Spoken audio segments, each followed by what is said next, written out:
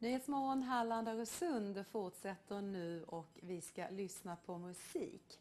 Kärlek och skräck, ungefär som att eh, hoppa fallskärm utan att veta var man kommer landa. Ja, orkestern Orange Tech lovar en minst sagt annorlunda blandning som har gett sig på att tonsätta en av Latinamerikas största poeter, Vincente Vidobro.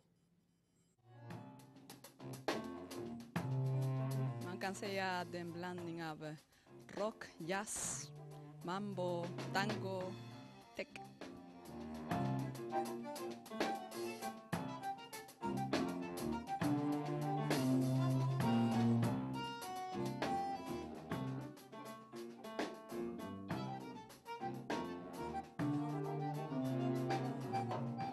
Jag tycker att det är väldigt surrealistisk eh, text. Så att på något sätt eh, det finns det här magiska eh, i Vicente Huidobros texter.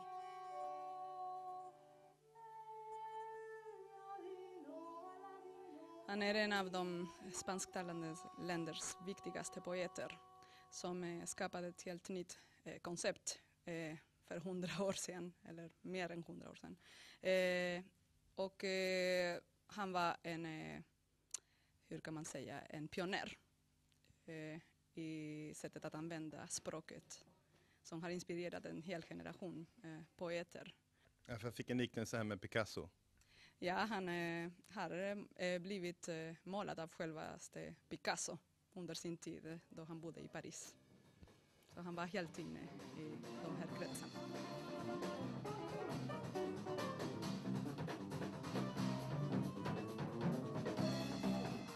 Säga att det är en kombination av modern konstmusik och tango på något vis. Jag tycker det är kul att det svänger också för det är inte alltid som eh, nyskriven eh, konstmusik, om man ska kalla det för, gör det. Så det tycker jag är kul att det svänger. Eh, det kändes som att det var några snabba övergångar här mellan dur och moll. Är det, är det skiften? Ja, ja det, det, det, det är ju snabba övergångar mellan, mellan både mellan, musikaliskt mellan olika eh, ljudlandskap. Liksom. Och, men även, ja, som du säger, eh, mellan dur och moll och mellan snabbt och långsamt. Det är väldigt tvära kast. Sådär.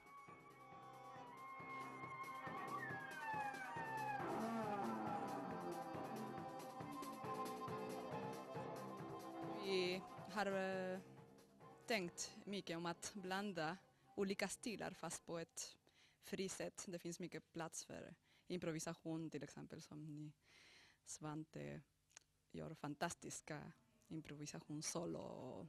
Så att det, vi får se om, vi, om det kanske blir en Orange Tech-stil. Premiär på Palladium i Malmö ikväll alltså och sen konserter i Ystad, Kristianstad och Växjö nästa vecka. Programmet lider mot sitt slut men på måndag 9.15 så är Nyhetsmorgon Halland Öresund tillbaka. Och lokala nyheter blir det som vanligt igen ikväll. Nu tackar vi för oss och hoppas ni får en riktigt skön dag.